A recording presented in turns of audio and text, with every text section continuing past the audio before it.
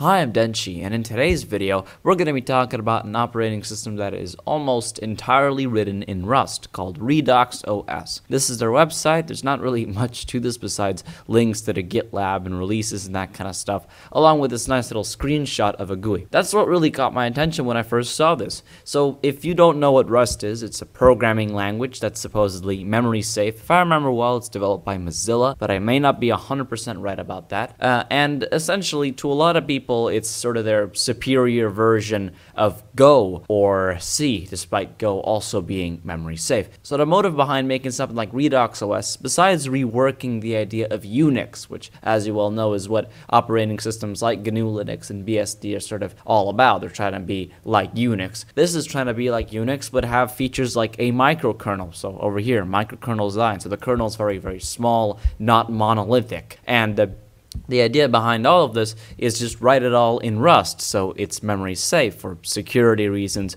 among other things, supposedly. You can read more about it in the documentation, but in today's video, I've actually pulled up a VM of Redox OS. So here we are with a VM of Redox operating system. I set it to the full resolution on my screen so it looks like I'm running it off hardware. And that's an interesting thing about Redox operating system because it actually can run on some real hardware, which is very impressive for something that's essentially written from scratch. I mean, that is highly impressive. Anyway, so the username over here is root and the password is, well, password, at least for the default installation. It did take a while, just note this, that I didn't download an ISO for this. I compiled it all from source, which takes a while compiling Rust from source. I think it'd be the same with other operating systems. I've never compiled many operating systems from source, but I did have to compile it, so there's always that. Anyway, Okay, so as you can see now that we're in, we now have a nice little graphical desktop over here. I'm going to take a look at the, all the included programs. There's not a whole lot to Redox operating system. The first thing that pops out is the web browser. That's probably one very interesting part of the operating system because having an entire web browser work on an operating system that you made, that, that is quite impressive. And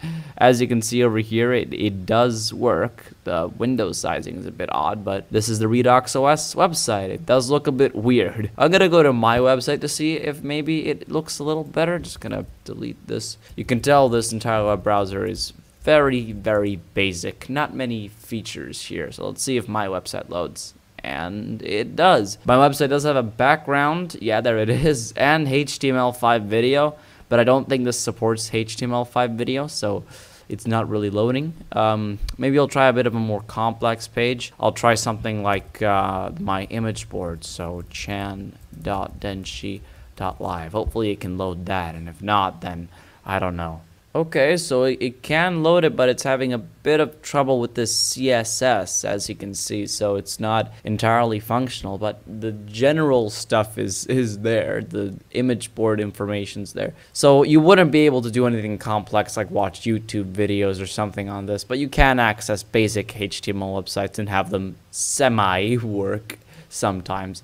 Anyway, so that was that. The terminal emulator is interesting because it uses um, a shell called Ion over here, local share Ion. So I believe it's similar to Fish. It's not POSIX compliant, which some people may not like. Ah, you can zoom into the terminal emulator. That's that's quite nice. All right, let's try uh, doing something you could do in Fish or, or some kind of autocomplete thing. So let's try going to the root directory, maybe Etsy or something. Then if we run it again, yeah, as you can see, it, it has autocompletion like fish. So that's some of the features it has. I believe it has some other cool features you can take a look at. There's not much besides just a few basic configuration files in .config in the .local folder, which, you know, is good because it's quite minimalist.